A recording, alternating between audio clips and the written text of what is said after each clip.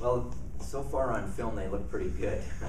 you know, and they've had an amazing start. I mean, you look at the number of goals they've allowed in our conference, and um, you know they're they're up there in in everything. Along with Minnesota, they're one of the top power play teams, one of the top penalty killing teams, have the top goalie of the league right now.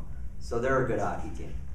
Yeah, not really. You know, our league. uh, You know, we talk about it almost every week. The parity in our league is amazing, and you know, it's not like, you know, you know, we we know they're going to be really fast, and so is everybody else, and we know they're going to put pressure on us uh, on our power play, and so does everybody else, and um, they have a couple of players that are special players, like some of the top teams do. Uh, but no, we can't. There's no special preparation, nothing, any anything that we don't do when we prepare for any team in our league, really. we've we've done we've done that over the years, and sometimes it's a good thing, sometimes it's not a good thing. And know, I I think the team will just have to handle a day off like that, and hopefully they'll work on some homework on their downtime instead of shopping. Um, but you know, it's it's a it's unusual, and you know we'll just have to deal with it.